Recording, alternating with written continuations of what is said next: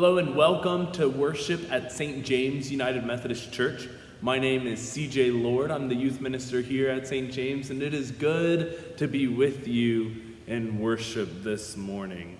As we begin in worship, I would like to share a few of the exciting events going on here at St. James. First off, today in worship, we are doing our annual blessing of the backpacks. We will be praying over all of our students that are going back to school. We will be praying for their parents as they're having to get them ready to go back to school, and for our teachers who are taking, getting ready for another school year of investing in young people in our community. Please know that if you are a teacher or a student that is worshiping with us virtually this morning, that we are also keeping you in prayer and lifting you up as well. And I pray that you will join us in praying for the teachers and for the students and for the parents of students here at St. James United Methodist Church.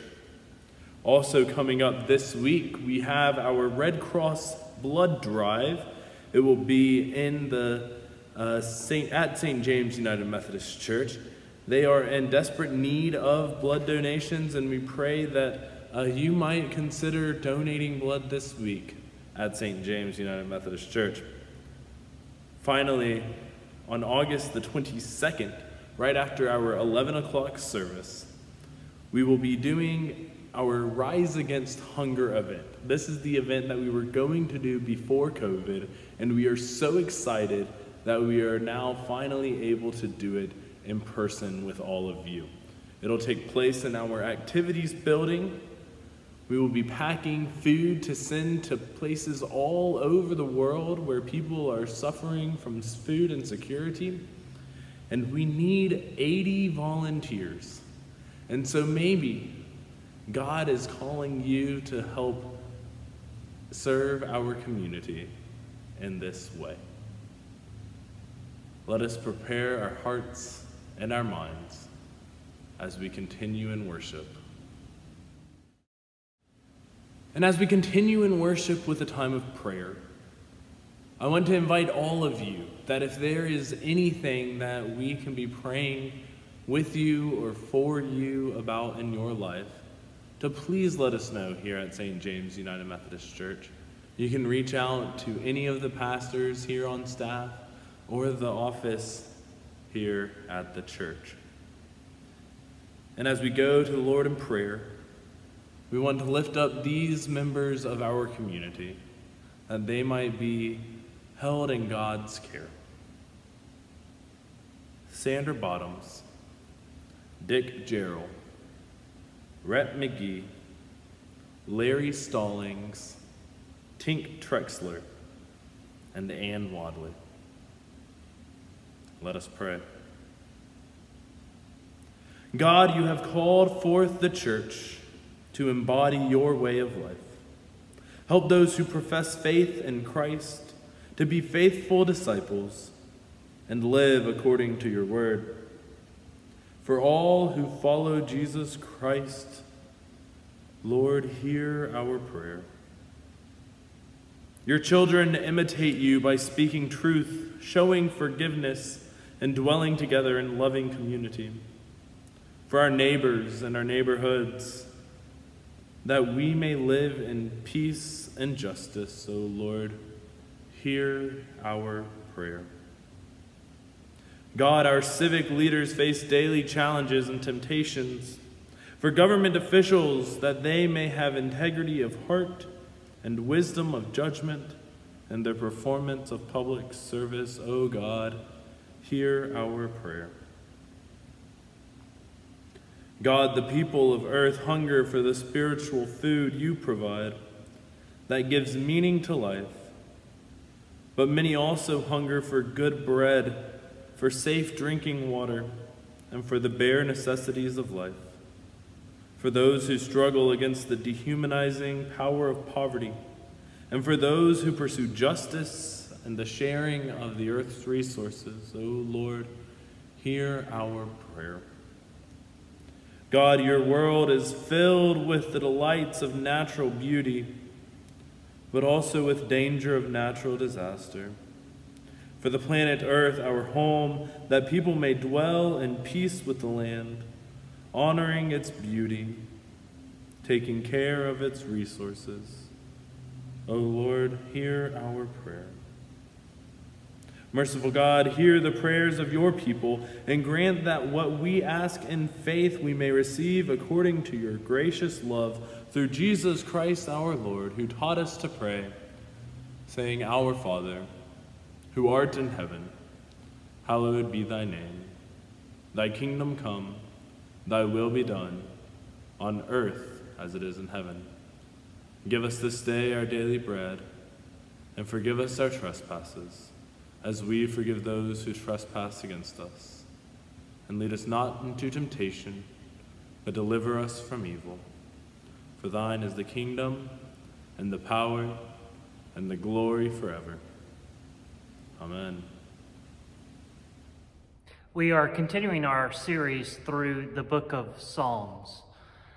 Last week, we began with Psalm 100, a psalm of thanksgiving, offering God thanks for God's mercy and provision for us, God's grace extended to us. Today, we hear a psalm that is a cry for help. These two expressions, thanks and help, many people feel are some of our most basic prayers. We turn to God when we are needing help, needing intervention in our life, and we turn to God in moments of gratitude to express our wonder and thanks. As we prepare to hear the words of the 86th Psalm today, let us go to God in prayer. Lord, open our hearts and minds by the power of your Holy Spirit that as the scripture is read and your word proclaimed, we might hear with joy what you say to us today. Amen. Incline your ear, O Lord, and answer me, for I am poor and needy. Preserve my life, for I am devoted to you. Save your servant who trusts in you. You are my God be gracious to me, O Lord, for to you do I cry all day long. Gladden the soul of your servant, for to you, O Lord, I lift up my soul. For you, O Lord, are good and forgiving, abounding in steadfast love to all who call on you. Give ear, O Lord, to my prayer. Listen to my cry of supplication. In the day of my trouble, I call on you, for you will answer me. There is none like you among the gods, O Lord, nor are there any works like yours. All the nations you have made shall come and bow down before you, O Lord, and shall glorify your name. For you are great and do wondrous things. You alone are God. Teach me your way, O Lord, that I may walk in your truth. Give me an undivided heart to revere your name. I give thanks to you, O Lord my God, with my whole heart, and I will glorify your name forever. For great is your steadfast love. Toward me you have delivered my soul from the depths of Sheol. O God, the insolent rise up against me. A band of ruffians seeks my life, and they do not set you before them. But you, O Lord, are a God merciful and gracious, slow to anger and abounding in steadfast love and faithfulness. Turn to me and be gracious to me. Give your strength to your servant. Save the child of your serving girl. Show me a sign of your favor so that those who hate me may see it and be put to shame, because you, Lord, have helped me and comforted me. The word of God for the people of God. Thanks be to God. Today, in our services in the sanctuary, we are having a time of prayer for our schools, blessing of the backpacks, and prayers for teachers, school administrators. I was reminded this week of a time when I was getting ready to start back to school. I think I was in the seventh grade. And our Sunday school teacher gave those of us in her class this little book entitled, If God Loves Me, Why Can't I Get My Locker Open? It was a collection of devotions designed for uh, kids in sort of the middle school age. And it talked about all the different things that kids might be anxious about, nervous about, the things they were excited about in uh, going back to school. A lot of those devotions were based on some selections from the book of Psalms. I don't have the book anymore, but I remember that as I read those devotions, one of the things that amazed me was how in the Psalms there were not just great songs of thanksgiving like we heard last week, but there were also cries of deep distress, cries for God to help, like the psalm we just read this morning, the 86th psalm. It's one of those psalms attributed to David. Think about David, the king of Israel, praying these words. The other thing that book that I got when I was in middle school reminded me was that God is concerned about all of our life. When we go to God in prayer, God wants us to be honest, to share our struggles as well as our triumphs, to turn to God, not just saying, here's what's going on, but expecting that God wants to and will intervene in our lives. This psalm, this cry for help, I think offers us some great pointers just for our prayer life in general. David calls out to God because David is confident that God will hear him. He says, I cry out to you all the day long. If you think about the whole story of David, David is a man who we see some of the, the greatest achievements accomplished through David, and yet the Bible story also tells us of some of David's greatest failures. David is, is one of those characters that the Bible doesn't try to gloss his life. He tells you, the Bible tells you about the success as well as the struggles that David faced. This psalm seems to be set at a time when David was being persecuted, probably by foreign kings and, and armies. And in the midst of that, he turns to God, asking for God not just to hear him, but to respond. That's the second thing. David is not only confident that God will hear, but he is confident that God is able to intervene. One of the beautiful things about Psalm 86 is almost all of these words are found in other places of the Bible. It's like a quilt work. It's like David has taken bits and pieces, phrases that re echo through the Old Testament, and yet woven them together here in this prayer that is a unique new piece. Like a quilter will take patches of different cloth to create a beautiful new blanket. David weaves into this story echoes from the story of the Exodus celebrating God's steadfast love and mercy. Words that Moses sang after the Israelites marched through the Red Sea. And then God closed back the waters on the Egyptian army. We read there in Exodus that Moses and the Israelites broke out into a song of praise to God, and some of those phrases are picked up here in Psalm 86. those events that are called to mind by these stories from Israel's past are what convinces David not only that God can hear, but God has the ability to respond as well. When we pray the Lord's Prayer, there is that line that we have towards the end of the prayer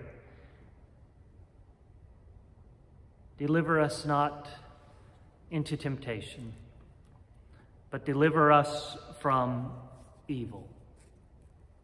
That is a cry and an acknowledgement that God is able to lead us away from danger and temptation. It is that same confidence that God is able to respond in our lives. The other thing that is evident in this psalm it begins with, with a high note of praise, and then in the very middle, we get the sense of the, the danger and the struggle that David is going through. And then it returns to, and yet I shall praise you. It, it is a reminder for us that prayer is not an isolated part of our lives. That our lives flow into our prayers and out of our prayers. What I mean by that is we can take whatever is going on in our life and offer it in prayer to God, either as a thanks or as a cry for help. But we should expect to be changed through that encounter with God, through that conversation with God. David, in the midst of his need, crying out in his pain, he says, You have delivered me from the depths of Sheol. Sheol in the Old Testament is where it was thought people would go to after death. You have delivered me from death. And I will return to praise you. That is, he expects his life to be different, and he is calling for God to help him be even more dedicated in the years to come because he is confident in God's ability to help. As I think about this psalm and, and the things that it can teach us about prayer. I'm reminded of one of my favorite books on prayer. It's by a Catholic theologian, Hans von Balthasar. And he begins his book on prayer by saying, Prayer is answering speech. What he means by that is that the Bible begins by saying God spoke. God spoke creation into being. Prayer is not just a, a cry in the dark, it, it is a cry who has, to a God who has already been speaking to us. And, we respond to God. And then we open our lives. We expect for God to respond yet again to us. It is a reminder that our life is meant to be a dialogue with God that yes, there are devoted times of prayer. There are those times in our day, there are times in our worship service where we consciously focus on prayer. But those are meant to build within us a sense of God's always being with us. And we can always be in conversation with God. Thanks be to God for his abiding steadfast presence in our lives. Amen.